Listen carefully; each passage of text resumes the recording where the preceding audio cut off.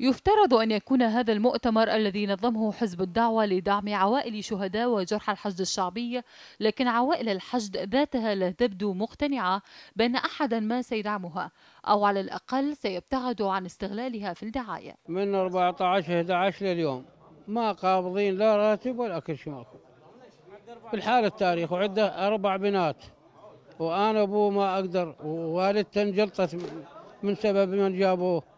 وكل شيء ماكو هسه ابو ضيم حالنا والله في الجمال هو لا ما صار له هواي صار له شهرين من استشهد اي دزوا له راتب وبعد هسه ما صار في راتب هم مال الثامن ما صار في لي هسه. قادة الحشد والناطقون باسمه خاطبوا الملكي بصفته نائب رئيس الجمهورية ثم انتقدوا حزمة الإصلاحات التي شرع بها مجلس الوزراء لكونها بحسب رأيهم لم تنصف عوائل الشهداء. السيد نائب رئيس الجمهورية الأستاذ نور المالك المحترم السادة والسيدات الحضور. الحشد أيها الأخوة والأخوات لا زال واقفا صامدا ثابتا مجاهدا متحديا ومنتصرا ولكنه لا زال بحاجة إلى دعم وتأييد وإسناد.